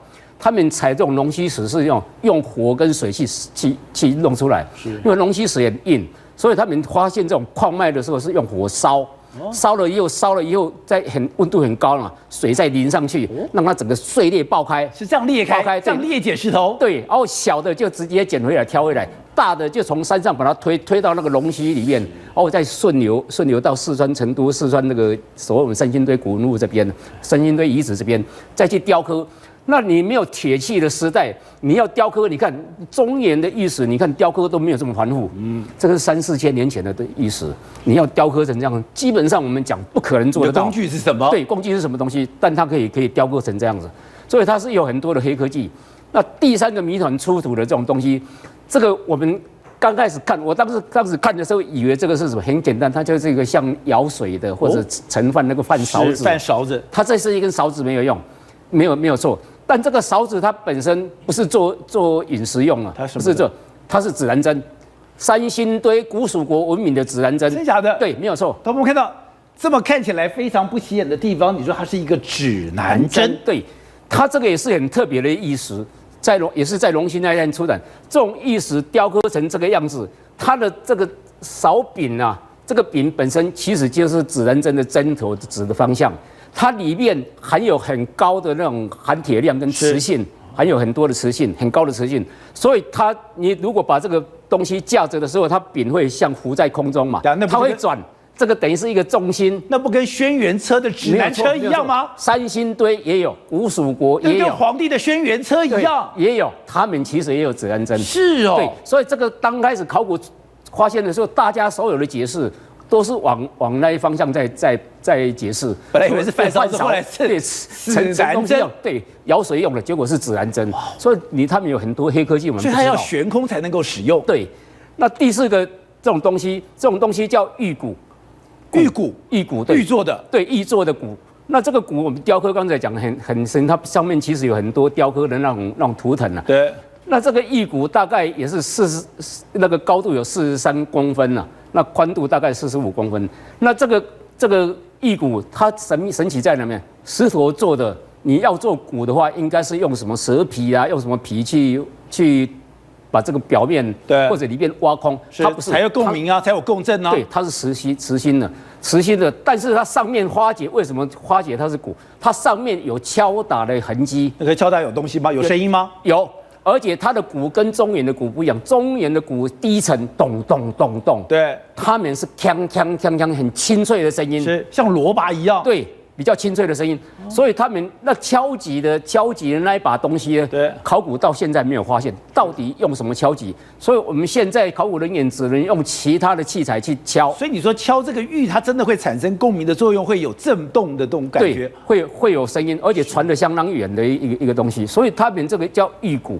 这个也是很奇怪的一个一个一个一个考古花节。是，好，这是最特别的，这是你要特别介绍的。第五个我要特别讲，中国最伟大的画《清明上河图》。是《清明上河图》，清明上河图是用画的，画在纸笺上面的，笺纸上面的，所以它基本上比较容易的。是三星堆的三清明上河图就是这一幅。你现在看到的是三星堆的《清明上河图》。对，古蜀国他们一样有这种忍耐。这这一幅所谓他们的《清明上河图》，所以这个是把它拓下来了。对他们画的是什么当时祭祀的一个场景，因为祭祀在古代是最重要嘛，是最重要的一个国家国家的重要性就是祀与龙，对，祀与龙。那这个这个你看他他们在雕刻的，这个是他们雕刻，他们他们不是用画的。上面也也是一样，他以前有这种能耐，哦，什么东西都用雕刻呢？是。那这种雕刻你可以看，雕刻的相当的细致。这边一样，上面有有三星堆比较比较图腾特别的图腾，那个人面像那个面相，他在雕刻，包括青铜神树，它的整个的雕刻雕刻在这里面。所以我的青铜神树这个巨人就出来了。原来这个巨人拿的是这样的东西，然后呢，我后面的人是怎么跟的？现在就懂了，青铜神树跟这个巨人是扮演什么不同的角色了。对，这个青铜立人，我们看展出的时候，当时一直在说他手上到底拿什么？大家大家都在猜是矛呢，还是什么？现在什么卡宾枪？对，一大堆猜测。其实它一条像这种蛇一样的一个像玉如意一样。对，你看它这个头伸出来了，你看，在这边。对，所以它不是我们想象中的什么拿长矛要打战的什么。它有这样的一个造型的一个东西，可能也是祭祀用的。但这个造型很奇怪，是前面这边你看不出来，它因为它你看可以看它这边有一个角龙首，对，龙首这边有一个角，所以它到底是什么动物不知道，对，不知道，它怎么放进去的？对，所以他们雕刻的时候有他们一个很很奇怪的一个一个一个技术在，一个技术在。那这个版画多大呢？它总共是三十二块，三十二块，每一块三十五公分。那如果把它拼接，它是一幅图嘛？一像简镯一样可以展开，但它画是一块一块把它拼起来，拼起来看，它就整个是一个巨式的一个过程，一个过程，长达十一点二公尺。是，所以说三星堆，你中原的是用画的，我用雕刻的给你看，我的整个祭祀场景，我的清明上河图就是这样。好，那所以是的，刚刚讲到了三星堆的清明上河图出土之后，接下来我看到了。青铜神树的作用，原来在众生中间，它原来是祭祀的中心，而且之前在谈的这个巨人青铜大力人，原来他是握着一个像龙首一般的东西。对，宝洁青铜神树以前我们讲过很多，其实我今天要特别讲一个新的一个重点。这个青铜神树，你看现在立起来，立起来，它一个中心轴线在这边很清楚。对，哦，底下三只脚。三只脚撑住，三只脚撑住。告诉你，这个现在是因为复原的，复原成功了，花了十年的时间。这个东西当时出土的时候，它是因为夯土层夯得很结实，结实。而且你知道三星堆以前有一个谜团嘛？它所有陪葬的东西先砸碎了以后再陪葬。哦，没有人知道到底为什么。没人，对，不让人家后面是后世知道。对，那所以这个当时。花节的时候，这个青铜是花节的时候，它整个树干、主干断成了三节，嗯，断成呢，树枝这个圆这个有圆弧形的部分支架断成十八块，断成十八块。所以大陆的一些考古跟科学人员花了多少十年的时间，十年时间把它拼接回来成这这只青铜树。但是问题拼接回来以后，有一个东西跑掉，你形状可以像。对，中心轴跑掉了，哦，你重心重心你就不稳了，你就没有办法这样立不起来，立不起来，立不起来，很容易会倾斜。你刚开始立可以，但它因为重心没有稳嘛，慢慢慢慢慢慢倾斜就倒了，倒了。所以你知道，在三星堆博物馆里面，现在在展示的时候，你可以看，它其实有拉拉线，有拉线就把它绑住。它上面有四根，有线把它绑住，把它撑住。然后底下这个盘子啊，盘固定的，它是用螺丝在底下把它固定，你看不到。底下底下这边有螺螺丝钉去把它固定的，你看不到，因为你重心跑掉了。哦。但是你可以讲，现在的科技你没有办法去把它恢复到原来那样。那以前做这个这个将近四公尺高了，有人说它如因为上面断掉了嘛。这上面那一块不见了，有人说它上面那一块如果挖出来，搞不好有五公尺高。那如果这么高，它以前古代那种测量的一个重心呢？对，它怎么做到了？怎么做到了？那现在，当时在汶川大地震的时候啊，它其实包括你绑这个线，包括包括这个螺丝钉被摇到后来，整个螺丝钉松脱掉了，因为它太高嘛，你那个螺丝钉要咬住不容易，所以。古代以前在四川好发地震的地区，吴蜀国做这么高的一个青铜树，它重心到底怎么抓可以抓得这么稳？它也是一个黑科技之谜。好，谢平，之前我们谈过很多三星堆，三星堆两个最著名的就是青铜神树跟这个青铜大力人像。当时你在想，哎，他手上这个东西到底是什么？没有想到现在解谜了。透过这个刚刚讲到的三星堆的《清明上河图》，青铜神树是在最正中央，它原来是祭祀的中心，而在祭祀中心里面的第一个人就是这个青铜大力人，而且青铜大力人手上还要拿一个。非常奇怪的东西，但现在这东西已经不见了。它到底什么面貌？没有人知道。原来三星堆所有的东西都是有意义的。还有人讲说，它是融合了周边所有的概念，它是一个世界的贸易中心。三星堆是世界迷网，你解了一个谜，新谜就出来了。比如说大力人的空手，是你说解谜了，那他手上拿的那什么东西？什么东西又是个不见了？好，其实。它每一样东西都是个谜，都无法解。但是外国人真正觉得最大的谜是它一个整体。他曾现在所有的迹象都证明，他曾经是世界贸易中心、古文明荟萃之地。它在崇山峻岭之间。对，我们常讲“蜀道难，难于上青天”。这个“蜀道难，难于上青天”的地方，交通不便的地方，它竟然是世界贸易中心。它是古几千年前的纽约市。真的，不要再唬我了。但是更诡异的是，它既然是几千年前纽约市，它为什么没文字、没骨骸、没墓葬、没道路？更诡异的是，是外国没有一个字提到这个地方。哦，好，它连中国都没有。我们先跟观众讲，为什么它是世界贸易的中心？很简单，当初张骞走丝路的时候回来写个报告给汉武帝，说我走到。西亚去的时候，他们告诉我有个南方丝路，早就来过了。是，他就说哪哪有南方丝路呢？汉武帝说派了四个队伍下去找南方丝路，南方丝路四个队伍都没回来，有去无回。对，有去无回，可见他太难了。好，张骞一个人都可以从西域来回，对他派了四队人马全不见了。对，好，那怎么证明他是世界贸易中心呢？很简单，他在这个三星堆旁边，他晚期的金沙遗址。你知道找到什么东西？找什么？超过一千根象牙。这地方不采象牙，不采象牙，而且这一千根是多大量的象牙？你要把一千根象牙运来，那需要多大的商业？这个象牙来自东南亚，来自印度。哦，好，这第一个证明了印度是一定有商业来往。为什么？发现到齿贝，这个齿贝独存在印度洋里面才有这个齿贝。是啊，三星堆隔绝于海洋。它在崇山峻岭里面，对不对？它怎么有齿贝？是你说当成货币使用的这个齿贝？对，好，齿贝来自印度，还有后来又在它里面找到乌木，乌木就我们做铅笔芯的东西。这个三星堆附近完全不产乌木，哪来的？乌木，印度来的。好，印度来，那它也越过印度，朝印度更走，到了埃及，不要忘记，埃及最像的就是什么？权杖，权杖，黄金权杖跟黄金面具。注意哦。中华文明所有的皇帝出来是没有人拿权杖的，拿权杖，对不对？只有埃及人拿权杖，还有西方欧洲人也拿权杖。这个权杖太相似，而且注意，法老王所有的墓葬都有黄金面具。三星堆，三堆也有面具。好，那他跟埃及有来往。第三大文明是什么？是两河流域啊。两河流域，我告诉你，三星堆最独特，它焊接技术跟它的铜。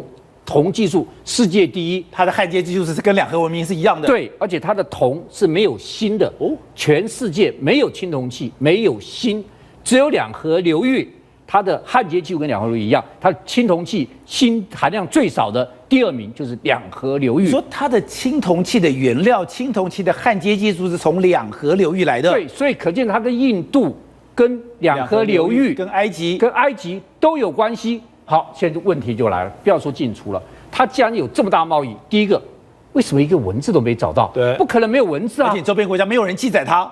第二个就是没骨骸，第三个现在没找到墓葬，第四个没有商道，你你怎么来？你总有个路吧？怎么完全没有路，完全没有进出。第五个就是这些找遍了东南亚、西亚、埃及两河流域。没有一个地方有文字谈过三星堆，谈过三星堆，记载三星堆，他自己不记载，别人也不记载。那你这些东西怎么来？怎么跟人家交换？怎么来跟人家买卖？你怎么成为世界贸易的中心。我们常讲的，西夏是一个被亡国灭种灭文的国家，可是没有想到，但其他地方宋朝、辽史都有记载。但是三星堆怪异的是，它似乎没有人意识到它的存在。张骞 K 北丝路走通，汉武帝四队人马通通在那边一去不回。为什么？因为这地方难走千百倍，更难走。这地方叫蜀深独道，当然里面有深独，就是印度的意思。哦，可见它既然叫蜀深独道，深独是印度，代代表他到过印度。那到印度是多难走的地方。第一个，它是。一个山，一个河，一个山，一个河，一个山，一个河，一个山，一个河。它是三江汇流，中国最险峻的地方。首先过大渡河，你是小儿科。毛泽东差点死在这里。是石达开渡大渡河，死在大渡河。好，再下来这个金沙江、澜沧江跟怒江三江汇合，三江就像三把刀一样，把大地切割了。这三个江不要忘记，青康藏高原在这里，你要。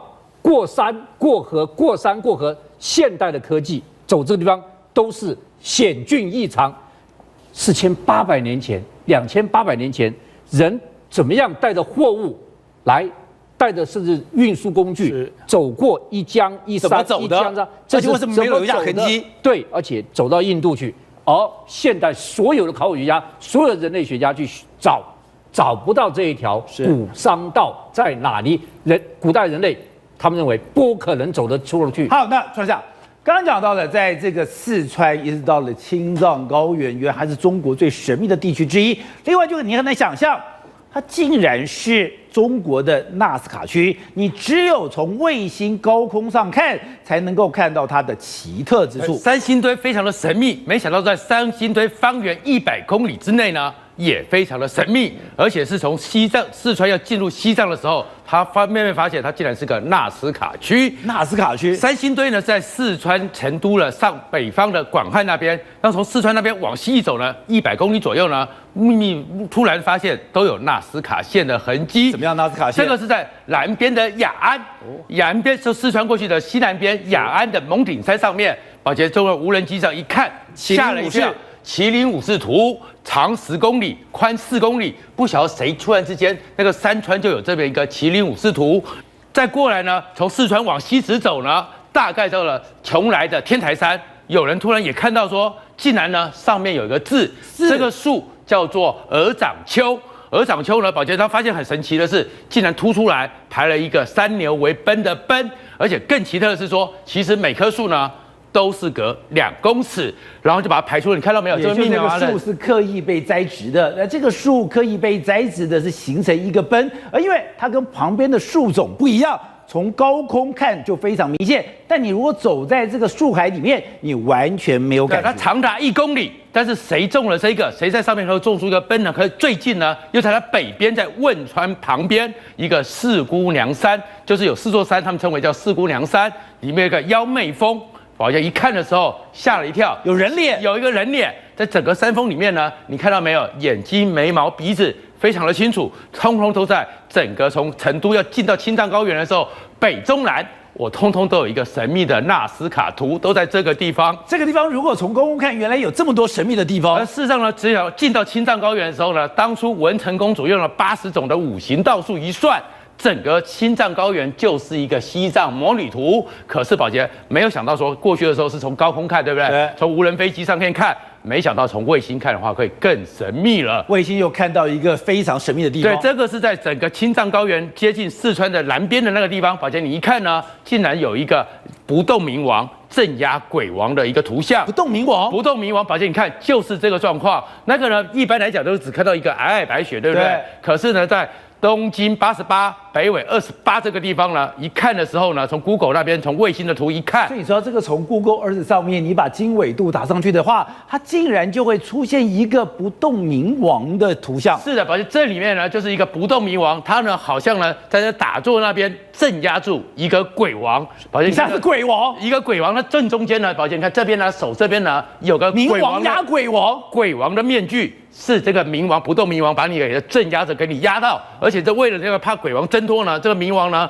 还是有点像西藏那些密宗的一个修行方式，是用绳索把自己给绑得紧紧的。我要用我的姿态给你维持到硬生生，让你跑不了让你跑不了，整整的把你给压到。而且在更诡异的是，它不是只有这个哦，它周边也有一些你无法去理解的神秘图案，怪的都在四川这个地方，而且你必须要从高空来俯瞰。在旁边呢还有两个，一个呢，如果看到那个形状的话，它就是是西藏里面传说的黑魔女。黑魔女，黑魔女都有黑魔女也就出现，好像是要跟他在挑战，还是怎么样的状况。另外一个呢，宝剑看，这是一个，这个就是黑魔女的一个图像，这是黑魔女图像然后它也是在二十八度北纬二十八度这个地方，你就可以看到。然后在旁边呢，还有另外一个，鬼王就是刚刚被镇压的鬼王，好像是他的同伴，也在这边，所以就发现说西藏这里面呢，这非常奇特，通通都是这些纳斯卡的一个图形。包子，我们刚刚讲到的，从三星堆这样衍生出去，整个四川一直到了青藏高原，原来是中国最神秘的区域之间，但是在太阳系里面，你却说最神秘的地方在火星。对我们现在看到的最神秘的地方就是在火星，所以你看，美国接二连三，在这么穷的情况之下，川普二零二零年还要把好奇号的第二代登陆火星，他把奥巴马的鉴宝都给删了，但是奥巴马的火星他不删。对他不敢删。火星上有五处神异的结构物啊，我这边讲五五处啊。然后呢，这里面有四个是从空中看，二零零九年四月二十四号，一个 Zemis 高热解析度的，就是高解析度的热像照相机特别去照的，照了一圈非常清楚。再来一个是二零一四年十月到二零一六年九月，好奇号拍到的地面的两个很奇怪的东西，我们现在看一下。然后我把这个地图跟大家讲一下，一个是在宝剑这个地方是海，对不对？这个地方是陆地，这是火星哈。在浅海的地方，这个地方有一区，还有海上面有一个山，这个地方有一区，这边有一个盆地，盆地这边有一个区，还有海海源峡谷这边有一区，很奇怪的东西。五个地区哎，五个地区。好，这个呢，就是说火星上的 civilization 文明啊，告诉你 a little，他很谦虚，只有一点点小的证据。这个就是 Melas 盆地啊，这就是海原峡谷。海原峡谷高空看就是用那个高解析度的热显卫星，你看到没有？这些东西你仔细看，它再给你清楚看，这还有反光，看到没有？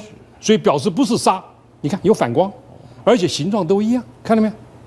这什么东西？这是海原峡谷，不知道，而形状很类似，好像相似的三角形。对啊可这个存在不合理吗？对，不合理啊！怎么会有金属体？你看都会发光，而且发光都一样。你看没有？发光啊！好是，这是另外一个地方，这个就是在这个盆地的右上方。你看，这是一个很奇怪的东西，是啊，就是在一个盆地的右上方，嗯，这块区域，我刚刚讲了，在右手边，形状啊在那个盖尔盖尔坑的附近，盖尔坑的在它的稍微上面一点，这很奇怪的东西，不知道是什么东西。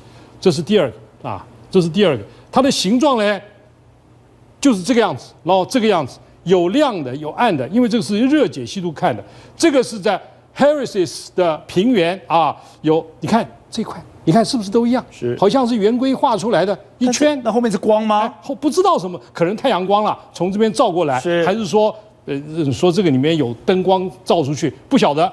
这个也是那个这个高解析度的热像望远镜，二零零九年公布的图片。哎，所以说这一串，你看这不止一个哦，一连串看起来好像都很相似，那怎么可能风吹的刚好一样呢？而且只吹这一条，这边就没有了呢，别的地方都没有哎，没有，就这一块有，哎，不知道，而且后面有神秘光。哎，而且你看这一圈都是不知道什么地方不好意思，发出你。这个光不是从上面，这个像是从地里面冒出来的光哎。，对，我们再看仔细看一下，哎，对，这个光不知道从哪里出来的，是不是？所以我们一直在想，火星的水是在已经表面上没有水了，在下面，那表示下面既然有水，是不是有生命呢？这就是二零二零年好奇号的第二代，他要去看的地方。你看一串不知道什么东西啊。等下我会在这个光出现的地方，就是在那个盆地的右上角。盆地右上角啊盆地的右上。等下我会再把那个地图再拿给大家看一下啊。然后这个照出来，所以说我刚刚说是热像高解析图像相机哈，这是 Crystal 的一个平原。这个平原呢，就是在一个海浅海，因为北面啊浅海，浅海里面有这么大一个坑，坑里面有这么多的，你也可以说是沙丘，不晓得什么东西啊。但是这个里面呢就没有刚刚的太阳照到的金属反光，但是这些东西是什么东西呢？是不知道啊，而且是不是有点像水流的切割的痕迹。你看黑色的水流切割的痕迹。还是什么东西，我们不晓得。但这个就是在过去火星的浅海区里面的某一块地方哈，这个就是海原峡谷更神秘的贝拉斯啊。你可以看到这个海原峡谷，你看这有反射哦，金属反射哦。刚刚那个是也是有金属反射哦，你看到没有？首先我们看一下，它是金属光，看到没有？金属反射一串，这个都是海原峡谷。所以这几个地方，请你说，NASA 知不知道？这是他出来的照片，他怎么会不知道？好。再继续看，所以这些东西所代表出来的东西，你看，反光，而且是尖尖反光，嗯，啊，尖尖反光，啊，尖尖反光，都在反光。好，这是一部影片。好，我们再看好奇号。好，你看它，这就是在爬爬在中间。Sharp 这个大概是离地面一千公尺，离地面一千公尺。你这个好奇号的路径，它路它爬上去的路程中，你看都是古湖区，这个可能都是所谓的古文明传。你看到没这块？这个前面讲，你看。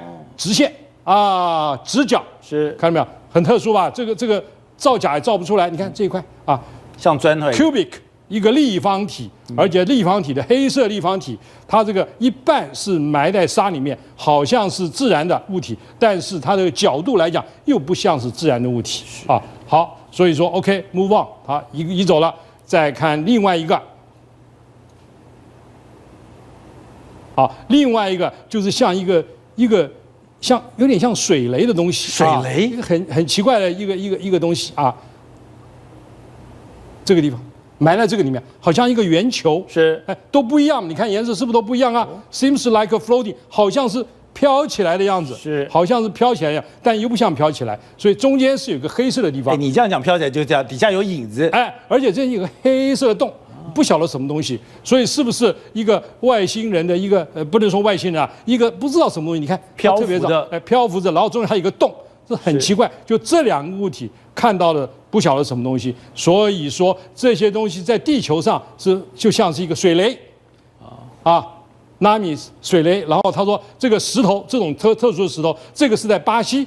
看到的也是这个类似的样子，这种巴西看到的这种东西，中国也有，China 也有这种东西出现。所以这中国跟巴西看到的这种东西，是不是在火星好奇号上看到的一样，有这种类似的东西呢？我们不晓得。所以表示说，这就都是 NASA 传出来的影片。所以既然放出来，所以说 NASA 是不是很多我们根本不知道的东西，但是他都知道，代表说火星不但是过去有文明，可能现在下面有没有文明？那就要看哪一个国家先捷足先登到了火星一探究竟。好，瑞德是刚刚讲到的火星有怪东西，地球上也有怪东西。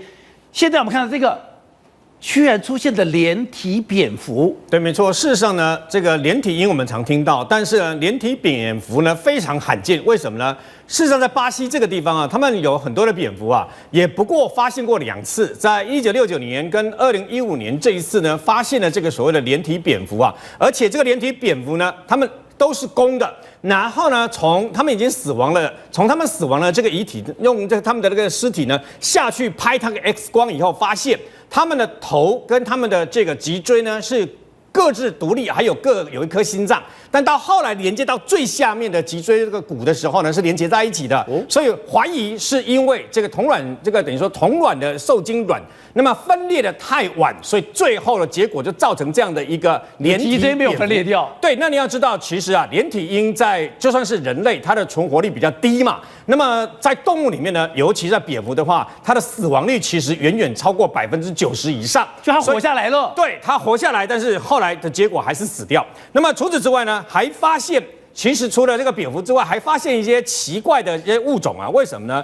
因为显然在这个世界上面，尤其在海里面，有很多我们不知道的东西啊。比如说，在这个夏威夷的这个深海里面，大概快接近一千英尺的地方呢，就有发现一种鲨鱼啊。那这种鲨鱼比较特殊，为什么呢？它会发光，它会发，可是问题是它是荧光会发光的。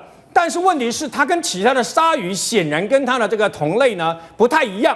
因为它很小，它大概只有一英尺不到，然后呢，它的重量也很轻。那么它在深海里面，这样的鲨鱼啊，它这么小，然后呢，它又这么轻，可是它却发出这个荧光。那么，所以科学家研判它为什么会发出这样的光啊？那么目前朝向说，会不会是因为为了要求偶，为了要物种，那么让彼此之间知道他们是同种类的这个鲨鱼呢？会变变成猎物啊？对，但是它也有可能变成猎物啊，因为你发出这个等于说荧光，那其他要吃你的也来吃你啊。但变成猎物的可能性呢？另外一个方向是，它也可能吸引它要吃的这些虾子这些东西过来，所以过来了以后，它反而因为它的荧光吸引它的这个它自己本身要狩猎的猎物过来，然后把他们给吃掉。但问题是，到底是什么？现在还是一个谜啊。所以这有一个说法，就是如果戴笠没有死在戴山，当时的国共战争可能有另外一个局面。为什么呢？因为当时的军统都是由戴笠单线抽造，而且戴笠有个最可怕的作为，就是他非常懂得暗杀，而且在中共旁边都有戴笠安排的人，只要他的暗杀了一下，可能这些高干都会一一被杀掉。现在被解密就是他手下不但有四大金刚，还有一个到现在都很少人了解的神秘女杀手。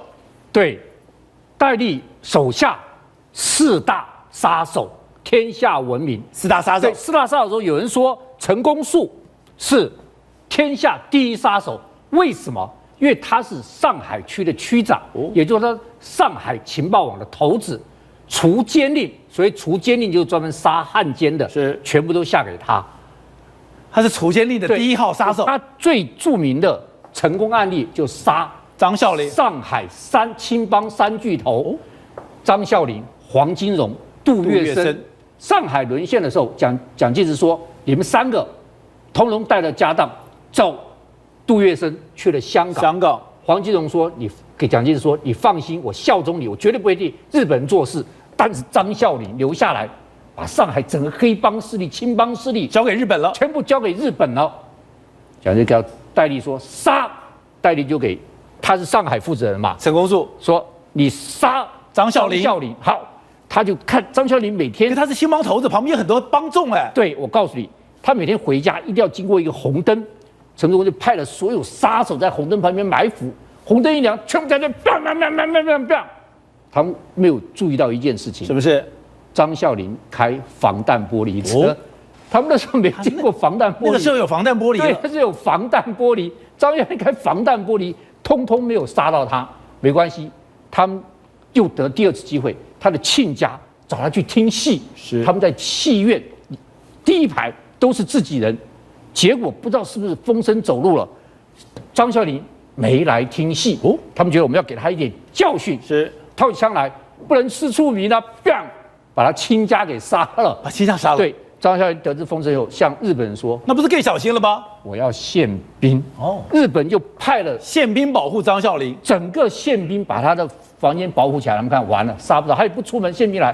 第三个，他就派一个非常厉害的神枪手混进去，在里面先当这个工友，后来他就给张学林说：“我的枪法很棒。”张学林来，你打打看，那个你打到吗？他拿起来，biang 就打到。好，你做我保镖哦，嘿，他做了保镖这。是陈公树安排在张孝林旁边的。但是你进门的时候是不能带枪的。那我进门没有带枪，不能杀。就有一天，他帮那个司机在洗车，他就跟故意跟司机吵架，因为没有进门，在外面是有枪的，跟司机吵架。张小林听到外面吵架，就探头出来看，他就看了，他拿起枪，bang 一枪，只探一个头，只探个头，就把张孝林给干掉了。上海青帮三个头目，对张孝林就这么死了。所以陈公树立了一个大功，因此蒋介石下了一个最大的民国以来最大的刺杀令，到越南河内去杀汪精卫。那汪精卫也是陈公树干的。哎，陈，我告诉你，这个戴笠亲自到河内去，这从来没有戴笠亲自出面。戴笠到河内去带两个人去，哪两个人？陈公树跟他的贴身护卫王汝翘，就是王卓君的爸爸。他带着两个人到河内去，租了个小房间，再加上河内当地情报负责人四个人，就在研究怎么杀汪精卫。我告诉你，他要这些都最顶尖的，除了我们刚刚介绍过毒王之外，于建生，我一定要毒王都来了。我一定要跟大家介绍这个唐英杰。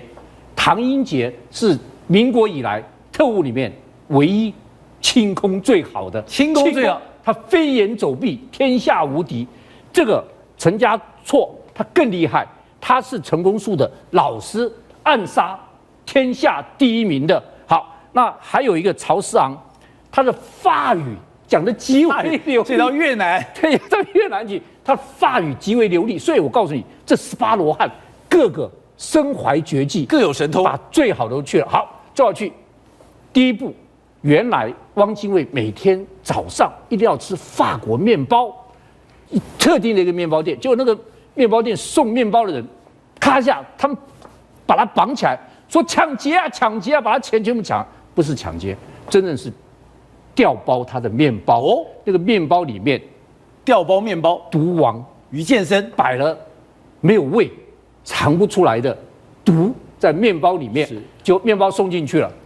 结果第二天，那个去拿面包的人说，他头痛，这两天食欲不振，没吃面包，没吃面包，这么巧？哎，没吃面包。好，第二个后来听说他的热水器坏了，就又派了又是毒王，弄了一种无声无息的一种毒去，然后去弄到那个他的那个热水器里面。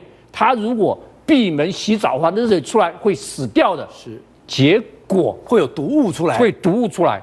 结果汪精卫那天又没洗澡，又拖过一节。好，那陈公书说不等了，硬杀，刚好硬起来。汪精卫要去郊游，郊游他们派两部车子在路上等他。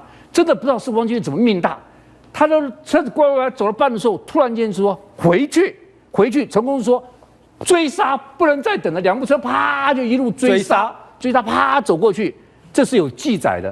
不知道什么原因，居然快要追到的时候。一个电车走过来啊！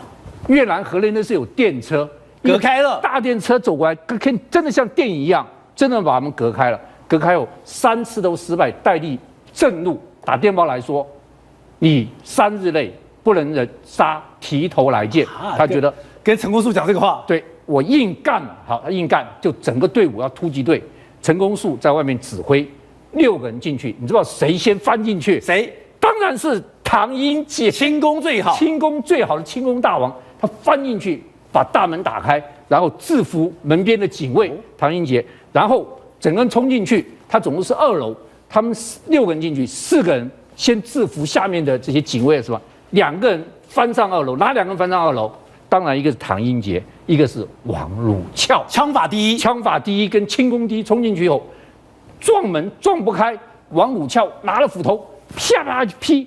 把门劈个洞，一看，床下躲了一个男的，一个女的，男的穿的睡衣，是他掏枪来，bang bang bang，三枪。你说从那个洞里面开枪，三枪都命中要害，准到不行。是好得手了，撤就一撤。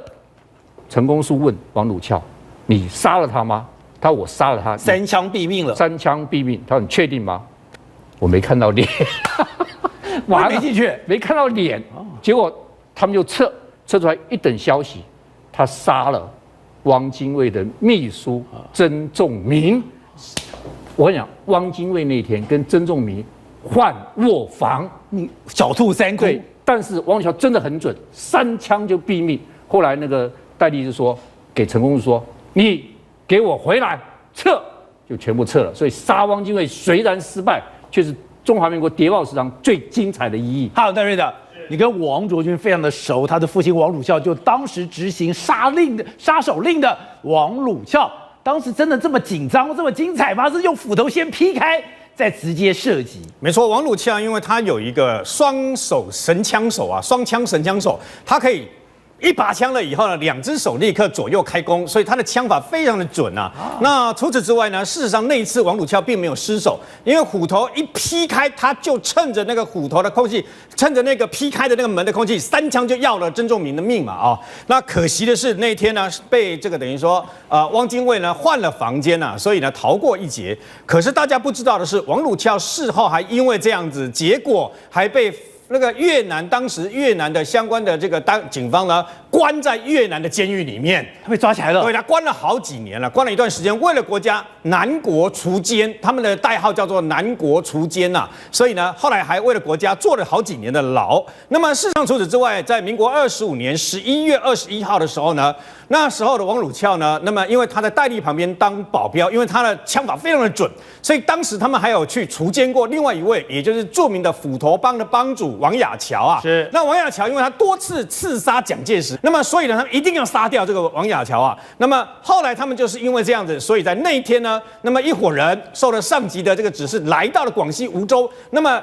骗开了门了以后，王亚乔武功非常的高，他们好几个人都拿他没办法。但是其中一个军统的人一把石灰一撒，王亚乔的两只眼睛被石灰给遮住了，就这样把他给刺死的，是这个样子的。所以他们去杀王亚乔，可是问题是得手了。对，王亚乔，可问题是没有办法把他的尸体带回来，可但是一定要复命，而且一定要见到是王亚乔本人。那我不能把他给带回来，那我又要一定要确定是他。所以后来在他们刺杀小组里面有一个人呢，心狠手辣，刀子一拿起来就把王亚樵整个人皮给撕下来了，把人皮撕下来以后用盐巴腌了以后带回来复命。就把脸皮撕下来，对，没错。撕下来给蒋介石看。对，那后来呢？那个王鲁翘呢？他们来到了这个台湾了以后呢，因为我们台湾，我们台湾的警界分为好多帮，包括好多个不同的派系啊、包括来自于唐仲的呃中央警官学校派系，包括山东派系，包括福建派系，也包括军统派系。